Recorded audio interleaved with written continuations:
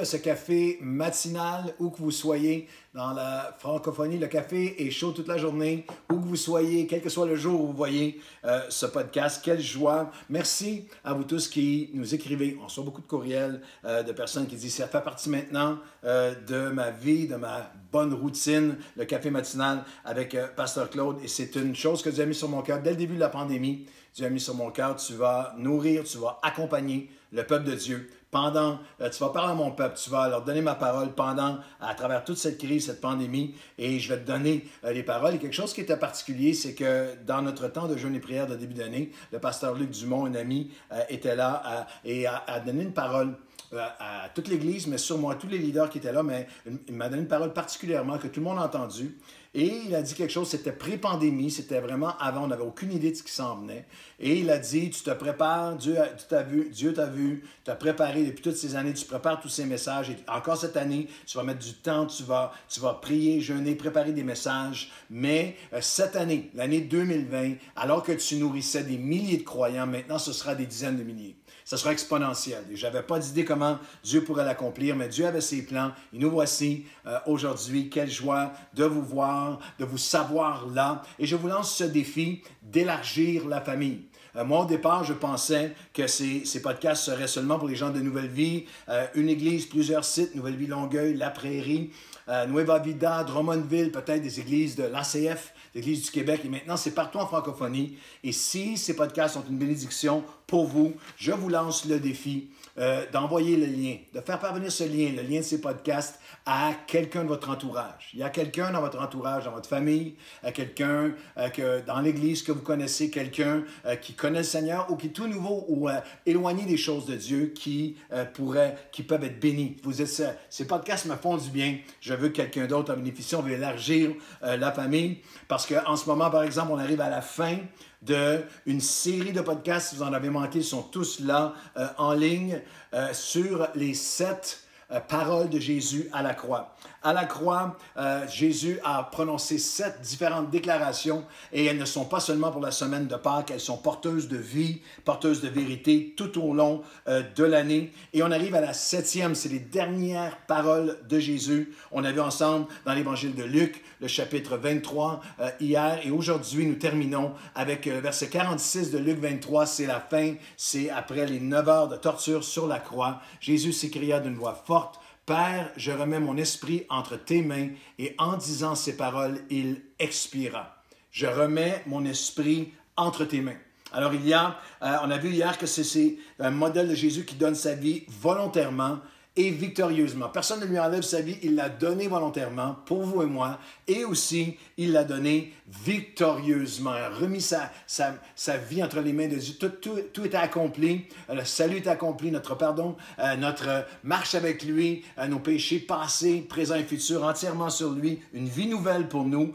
Et il y a dans cette dernière parole de Jésus trois vérités trois réalités spirituelles qui ne sont pas seulement euh, pour lui à la croix et dominant, elles sont pour nous aujourd'hui dans notre période où les choses se sont obscurcies. À ce moment euh, de la crucifixion, euh, pendant trois heures, l'obscurité est venue et il y a une certaine obscurité humaine, relationnelle, spirituelle avec cette pandémie que nous vivons. Et il y a trois réalités spirituelles à ne pas oublier. Lorsque Jésus a dit, mon Père, euh, je remets mon esprit entre tes mains, la première réalité pour toi et pour moi, c'est que j'ai, tu as, nous avons un Père céleste qui nous aime. Vous rappelez, vous rappelez-vous que Jésus a, un peu plus tôt dans le cheminement de la crucifixion, dans la torture de la crucifixion, le déroulement, pardon, Jésus a, avait prié, mon Dieu, mon Dieu. La seule fois où il n'a pas appelé Dieu son Père était le moment à la croix où tous nos péchés étaient sur lui. Toute la laideur, euh, passée, présente et future de nos vies, toutes nos fautes, nos transgressions, ce qui nous séparait de Dieu, a été mis sur lui.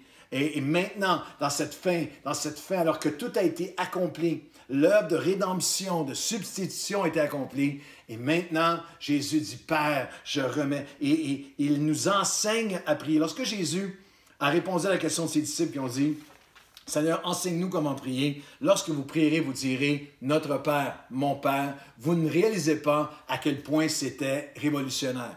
La pensée juive de l'époque, lorsqu'il parlait de Dieu, c'était en termes de Yahweh, c'était en termes de le Tout-Puissant, l'Éternel, le Dieu très haut, le, le roi de l'univers, le Créateur, tout était en distance et Jésus, de la euh, sur la croix, nous dit non, maintenant, par le sacrifice que j'ai offert, vous pouvez maintenant vous approcher de lui en disant Père, en venant à lui comme un Père d'amour, un Père qui nous aime, que nous sommes, que nous traversons cette COVID avec une profonde conviction, je suis aimé de Dieu, je suis approuvé de Dieu. Celui ou celle qui est profondément approuvé de Dieu, qui sait, qui comprend, qui accepte que nous sommes approuvé de Dieu n'a plus rien approuvé. Celui qui est approuvé, celle qui est approuvée, n'a plus rien approuvé. Je suis, j'ai un Père céleste qui m'aime. C'est comme ça que je vais traverser cette, cette COVID. Et, l'apôtre Paul pousse l'enveloppe un peu plus loin lorsque dirigé par le Saint-Esprit, et c'est contre tout ces, son arrière-plan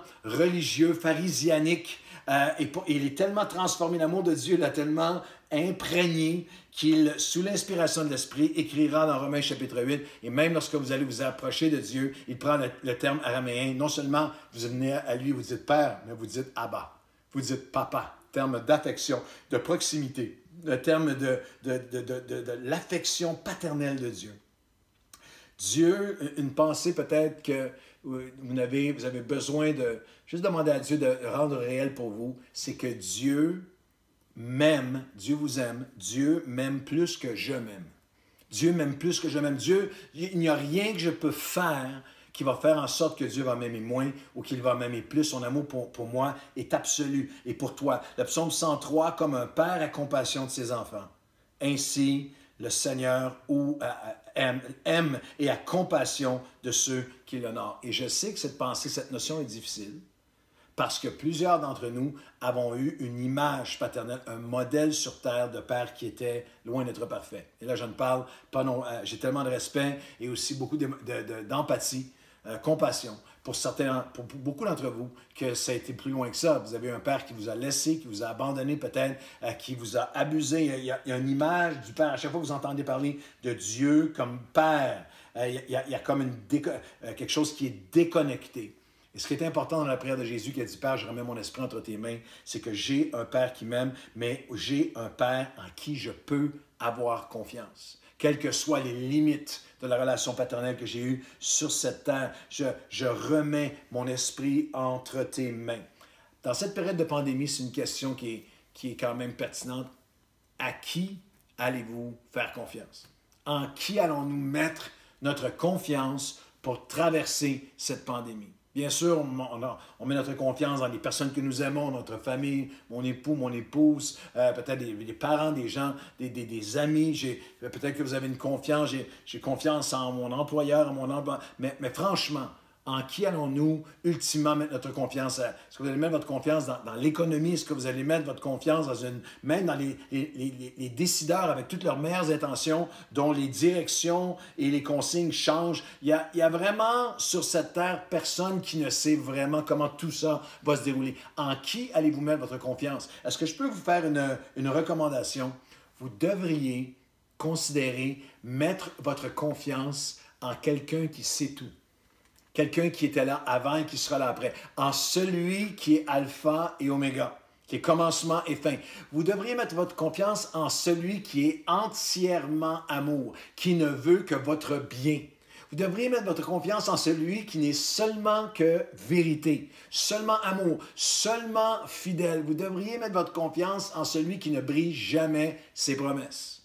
Euh, vous devriez mettre votre confiance en celui que même lorsque nous ne sommes pas fidèles, lui demeure fidèle.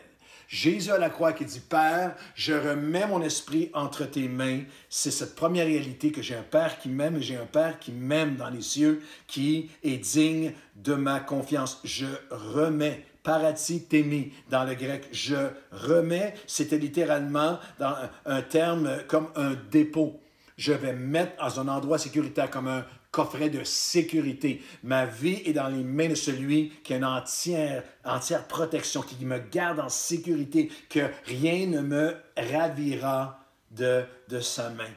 J'ai cette vérité sur laquelle, euh, sur laquelle je peux traverser cette COVID, cette période de COVID. J'ai un Père qui m'aime, j'ai un Père qui m'aime, en qui je peux avoir confiance. Et je termine.